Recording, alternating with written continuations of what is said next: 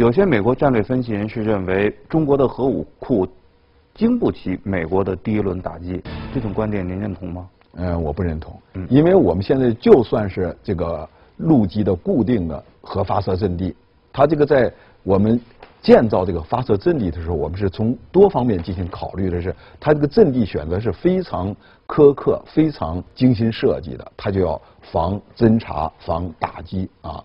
再一个就是我们的这些发射井，它本身也是进行过加固的，而且呢，这个我们还在周边也部署了一些反导体系。同时呢，就是我们这些这个发射井呢，它也采取了一些这些规避的措施，比如引真试假。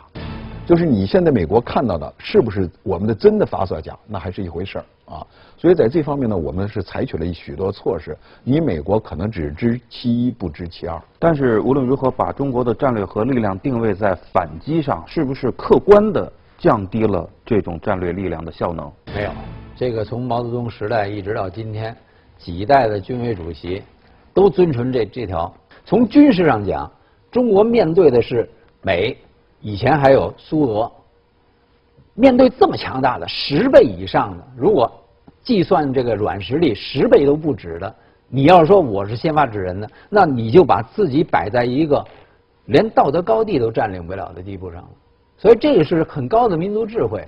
表面上是说我我是非得二次反击，我我从来不首先使用，但是这一点很重要。您就看看为什么美国对北朝鲜那么仇恨，对伊朗那么仇恨。他们在发展所谓核武器的时候，他都没有采取这个外科手术把它拿掉呢。这就是害怕，一拿就乱了，这世界就乱了。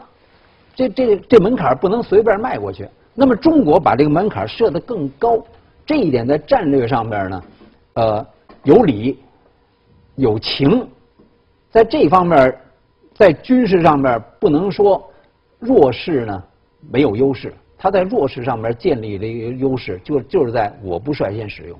当然，我们不首先使用核武器啊，就坚持后发的呃后发制人这么一个核战略本身呢，我们还是要付出一些代价的。也就解释了为什么现在中国的国防费要比美国的啊，就是在核有时候投入上，他们说我们的国防费不透明，或者我们国防费啊就是增长太快。那么就说你那个要进行第一次核打击和。你要进行第二次核打击，它的这个国防费是不一样的。